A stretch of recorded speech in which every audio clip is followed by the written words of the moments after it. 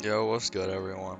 Legend here, and I'm actually buying the one of the newest fruits in One Fruit Simulator, and here's Bomu Fruit Showcase.